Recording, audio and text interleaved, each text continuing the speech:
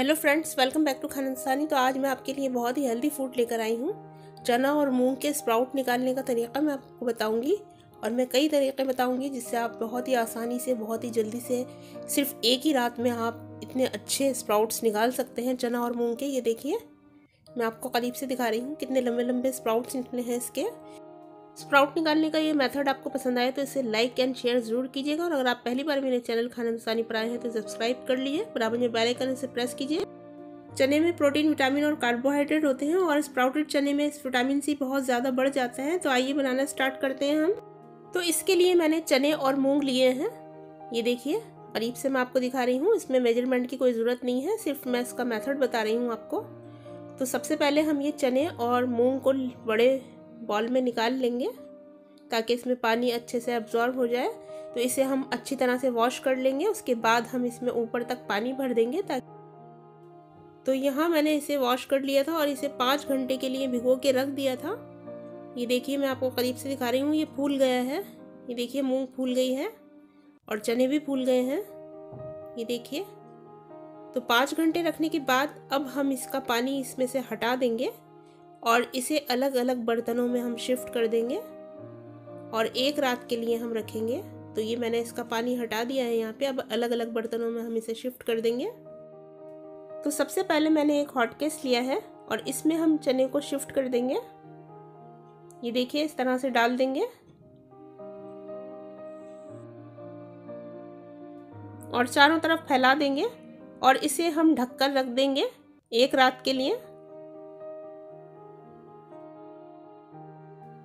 इसके बाद एक दूसरा हॉट केस लेंगे और इसमें मूंग को रख देंगे और इसे भी हम एक रात के लिए ढक के रख देंगे। ये देखिए, कुछ लोग कपड़े में भी रखते हैं। तो ये तरीका भी मैं आपको बता रही हूँ, एक बड़ा रुमाल ले लेंगे हम और इसे गीला कर लेंगे और इसको निचोड़ के इसमें फैला देंगे। और इसमें मैं दोनों चीज़ें बता रही हूँ आपको, मूंग भी और चना भी तो दोनों चीज़ें मैं इसमें डाल दूँगी थोड़ी थोड़ी सी। दोनों तरफ़ डाल देंगे, एक तरफ़ चने और एक तरफ़ मूंग डाल देंगे।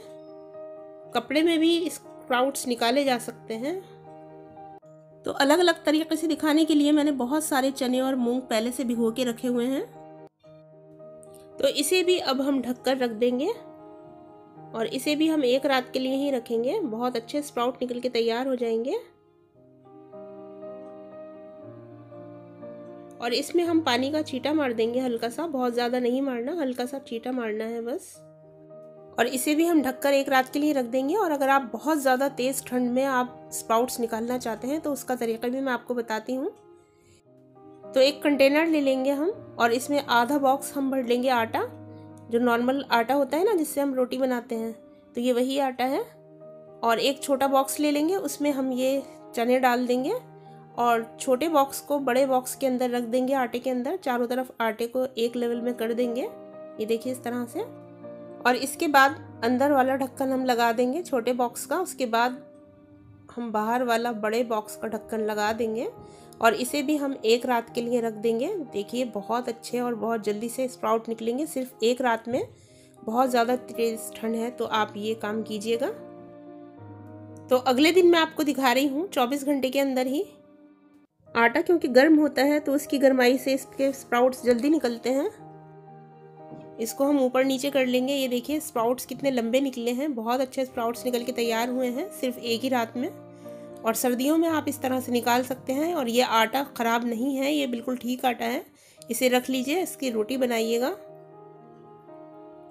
तो ये देखिए, करीब से मैं आपको दिखा रही हूँ, बहुत अच्छे स्प्राउट्स निकल के तैयार हुए हैं। तो आइए दूसरे स्प्राउट्स भी देख लेते हैं, जो हमने हॉट केस में रखे थे।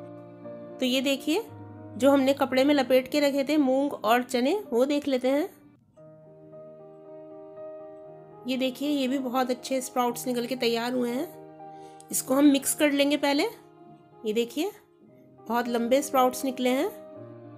मूंग भी चेक कर लेते हैं। ये देखिए, इसको मिक्स कर लेंगे। ये देखिए, करीब से मैं आपको दिखा रही हूँ। बिल्कुल भी वीडियो स्किप नहीं कर रही मैं। ये देखिए मिक्स करते रहिए इसको। ये देखिए कितने अच्छे स्प्राउट्स निकल के तैयार हुए हैं, इतने लंबे लंबे। और इसके बाद हम वो मूंग देखेंगे जो हमने बिना कपड़े के हमने रखी थी। तो ये देखिए, इसमें भी बहुत अच्छे स्प्राउट्स निकले हैं, बल्कि इसमें और ज़्यादा लंबे स्प्राउट्स निकले हैं। ये देखिए, करीब से मैं आपको दिखा रही हूँ।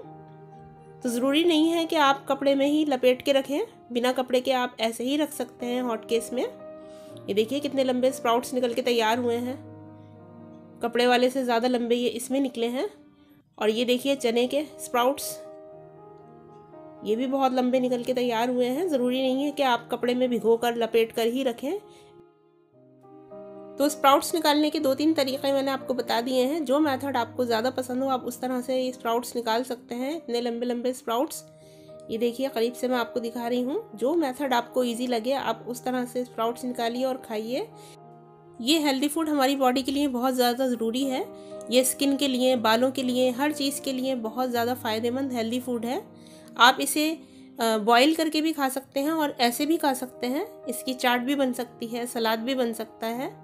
बहुत सारी डिशेस इसकी बन सकती हैं। तो नेक्स्ट वीडियो में आपको इसकी सलाद बनाने का तरीका भी बताऊँगी और इसकी चाट भी बना सकते हैं आप। कई तरह से इसको बना के खा सकते हैं। ये बहुत ही ज़्यादा हेल्दी फ़ूड है। अगर आपको ये रेसिपी पसंद आई है तो प्लीज़ इसको लाइक एंड शेयर कीजिए।